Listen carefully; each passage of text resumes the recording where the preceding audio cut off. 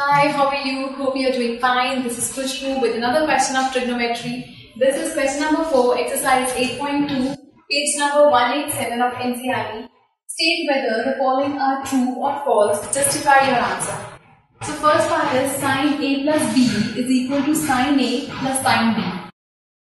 So let's suppose अगर हम let कर लेते हैं angle A 30 डिग्री है angle B is 60 degree So sine A plus B means sine 30 degree plus 60 degree.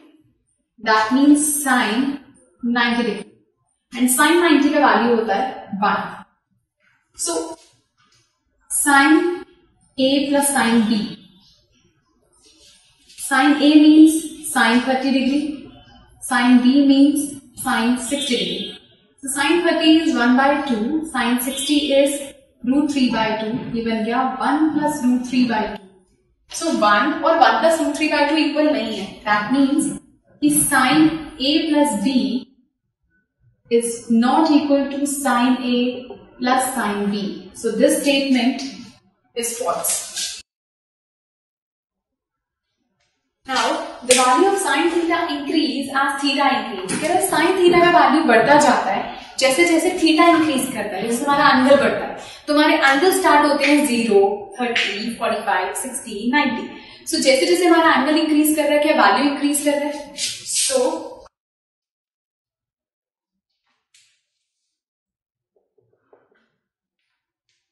sine zero degree zero होता है value sine thirty degree value होता है वन बाय टू मतलब कि zero point five sine sixty degree मतलब कि root three by two root three हुआ sorry this is sine forty five sine forty five degree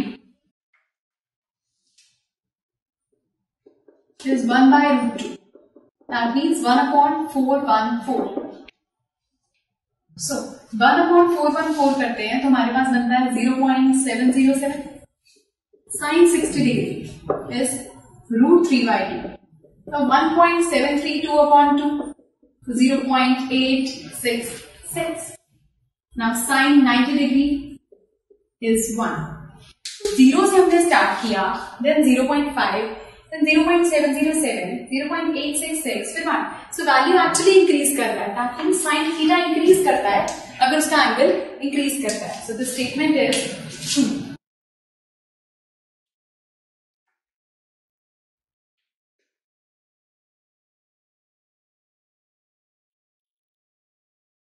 Now, third part. The value of cos theta increase as theta increase. क्या cos theta में भी ये चीज़ होती है कि जैसे जैसे एंगल बढ़ रहा है उसका थीटा इंक्रीज करेगा so cos zero is one. Cos 30 degree is root 3 by 2. That means 1.732. That means 0.866. Cos 45 degree is 1 by root 2. That means 1 upon 414, 0.707. Cos 60 degree is 1 by 2. That means 0.5. Cos 90 degree is 0. So पहले 1 आया, फिर 1.7, फिर 0.866, फिर और कम हुआ zero point seven zero seven zero point five का zero so basically cos का वैल्यू जैसे जैसे एंगल बढ़ रहा है, उसका वैल्यू कम होता जा रहा है। वैल्यू डिक्रीज कर रहा है, जैसे जैसे थीटा इंक्रीज कर रहा है। So this statement is false now let's do another part so this is fourth part sine theta is equal to cos theta for all values of theta हमें ये चेक करना है कि साइन थीटा की और कॉस थीटा की values हमेशा equal आती हैं। चाहे थीटा की कोई भी value whether it zero thirty forty five क्या दोनों हमेशा इक्वल होंगे? So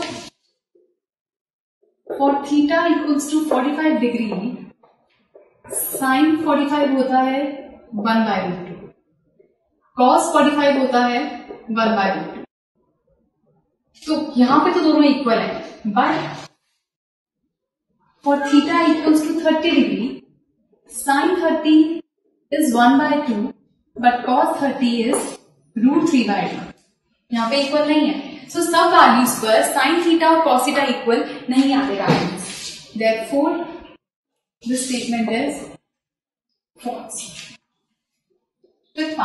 cot A is not defined for A equal to zero degree अगर कॉट का ये एंगल ए ये ज़ीरो डिग्री होता है तो कॉट की value not defined cot A equal होता है cos A by sine A के। अब A ज़ीरो है। That means cos zero degree by sine zero degree cos zero means one but sine zero means zero तो something upon zero अगर zero denominator में आता है तो वैल्यू नॉट डिफाइंड है।